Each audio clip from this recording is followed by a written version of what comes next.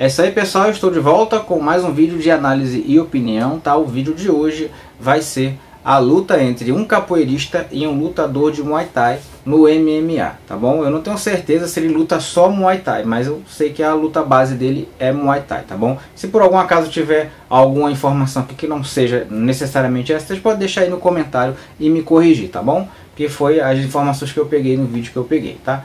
Vamos lá, eu vou virar aqui do lado, vocês darem uma olhada, tá bom? Então vamos lá, soltei aqui, né? É o Marcos Aurélio versus o Keegan Marshall, né? Ele aparentemente está ali, muito sério, concentrado. Essa é a primeira luta né, do Marcos Aurélio. Marcos Aurélio ele é filho do mestre Barrãozinho, também conhecido como é, ba, é, mestre Barrãozinho. Né? Ele é filho do mestre Barrão, desculpa, eu falei Barrãozinho, né? Então vai lá, começou a luta, ele já tenta dar um golpe pulando ali, mas desiste porque a distância não deu, né? O cara deu dois socos e tal. Né? Parece que a luta não é de agarrar. Ele deu ó, um pisão de costas ali, e continua, ó. Martelo pulando ali, mas não encaixou. Meia lua, meia lua. Pronto, pegou. Né? O que, que acontece aí, gente? A luta foi bem rápida, né? Acabou muito rápido, foi um nocaute muito rápido. É, o que parece ali é o seguinte, é um erro muito comum, né? Tá passando o vídeo ainda, vocês estão vendo? É um erro muito comum das pessoas que não são capoeiristas. Eles acham que dá para segurar meia lua. Aí ó, a primeira ele tentou botar a mão e a segunda ele tentou botar a mão. Então, em vez de ele tirar a cabeça da frente, ele botou a mão. É uma falha muito grande. Né? Até porque o pessoal não conhece a técnica, né? É essa a questão. Por não conhecer a técnica, né? O cara tá ali, ó, apagadão, ficou apagado por um bom tempo. Né?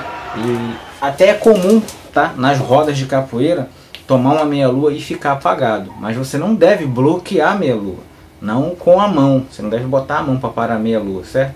É, normalmente a gente sai da frente da meia-lua, a gente não não tenta bloquear. Nenhum golpe rodado, né? Porque os golpes rodados são muito pesados. E aí mesmo que você bloqueie, você se machuca, você toma um impacto todo, né? Então esse aí hoje ele é o contramestre Barrãozinho, tá? Né, do grupo Axé Capoeira, do mestre Barrão, tá? Ele é lutador profissional. Essa foi a primeira luta, foi a estreia dele, né? Se eu não me engano, isso é um torneio de MMA, mas eu não vi ninguém né, com luta agarrada, só vi luta separada, de repente nem é MMA. Né? A questão é que foram dois praticantes de lutas diferentes. Então o que eu quero dizer é o seguinte aqui, é, não foi a capoeira que venceu, tá? Foi o Marcos Aurélio que venceu, porque no combate o que interessa é o praticante. As lutas são apenas é, ferramentas. Como você usa ferramenta é que vai é, te dar a vitória ou não, o teu treinamento e tudo mais. Uma coisa que acontece, que aconteceu aqui e eu já fiz um paralelo antes, é que nem o que acontecia com jiu-jitsu. As pessoas não conheciam as técnicas de jiu-jitsu. Então não sabia se defender. Né? Hoje em dia já tem gente colocando a, a meia-lua né, no, nos treinamentos de MMA. Então daqui a algum tempo não vai ser mais surpresa, entendeu? E vai acontecer como acontece com o jiu-jitsu hoje. Hoje muitos lutadores já sabem se defender das técnicas de jiu-jitsu. Né? Antigamente ninguém sabia, então era muito fácil os lutadores de jiu-jitsu ganhar, por causa das técnicas dele serem, é, digamos assim, pouco conhecidas. E no caso da capoeira, é, a questão é que as pessoas menosprezam a capoeira. E é aí que está a falha delas. Eles acham que ah, a capoeira é uma dança, não sei o que lá e tal, etc. E quando usam golpes de capoeira, eles não sabem o que fazer porque não estão acostumados. Mas daqui a algum tempo, eles vão parar de subestimar a capoeira e vão prestar atenção que tem muitas técnicas na capoeira que não foram ainda, digamos, exploradas, tá? Futuramente eu vou trazer outras lutas do Marco Aurélio, tá? Do Barrãozinho, né, para vocês verem. Essa luta aí foi a primeira dele, ele era professor no templo. Eu vou deixar aqui no card para você ver o vídeo completo, tá?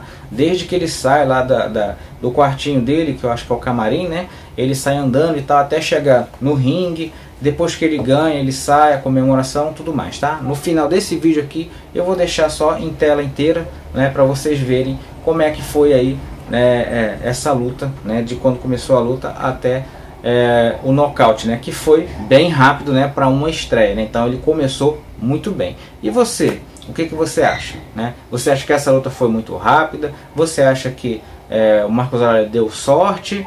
Ou você acha que eu estou falando uma coisa que tem fundamento? Que realmente por ele não conhecer a técnica ele não soube se defender? Né? Ou foi um pouco de cada? Né? Deixa aí nos comentários, tá bom? Vou deixar aí com vocês e até o próximo.